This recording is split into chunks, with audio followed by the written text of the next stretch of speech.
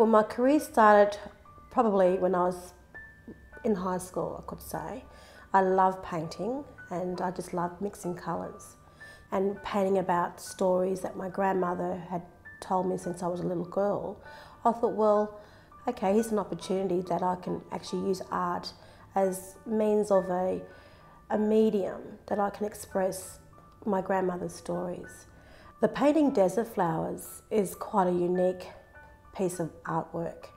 It was one of those times in your life that it was a pivotal point. It happened when I was going through a divorce, and it was one of those raw emotions that you go through, especially when you, you know, after 20 years of marriage, you decided to obviously close the door on, on your past.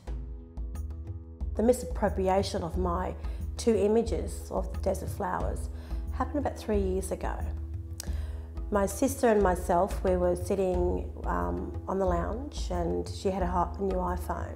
So as we were going through and looking at all the things I've done in the past, I came across this one little, one little window and it had an image and it was a window of a hotel room.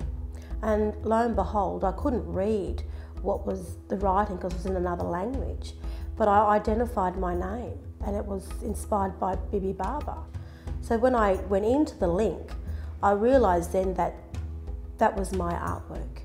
Two of my images, Desert Flower, that was used to deck out a 44 room hotel in Poland, Warsaw, in Domoslaw, and to translate that onto carpet, onto tabletops, panelling, wall panels.